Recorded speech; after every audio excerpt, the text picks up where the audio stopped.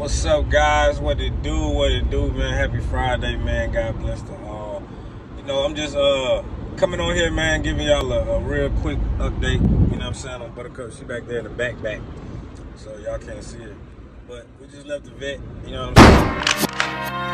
Hey, yeah, I'm all about my money, baby. I get money, baby. Yeah, my chopper hold a hundred, my car go 200, baby. I be chasing coins like Sonic, baby. I be running, baby. I be chasing. Saying that uh unfortunately she's not ready yet. We on day 60 as of now. She's not ready.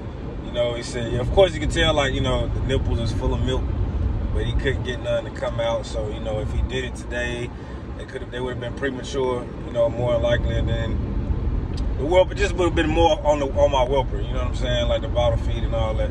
But In two miles, keep left onto I-85 North toward US 421 South. Feeling? All right. Anyway, guys. So we got it. We got it set for Monday. Hopefully, you know what I'm saying. She'll last throughout the weekend because this place, unfortunately, is closed on Sunday, and tomorrow they close at like 12 noon. So hopefully, guys, she'll wait till Monday.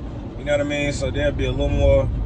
They'll really be ready to go there, and it'll be like what? Say 60s, what's the- like day 63 or something like that. And then the temperature been, you know, fluctuating all week long, up and down, 90, 99.4, back to 100, down to 99 something again. You know what I'm saying? So I kind of figured she wasn't ready, you know, but we wanted to go ahead and and check, and then you know the reverse progesterone test.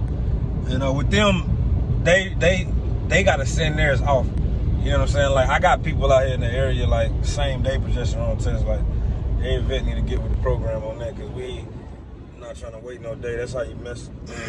that's how you mess something up or miss something, you know. Just to get on here to give y'all guys a quick update, man. I want y'all to comment. I want y'all to subscribe. Go follow us on um, Instagram at BBK Bullies underscore. And hopefully we'll have some pups next week, God willing. Stay tuned, man. Let's get it.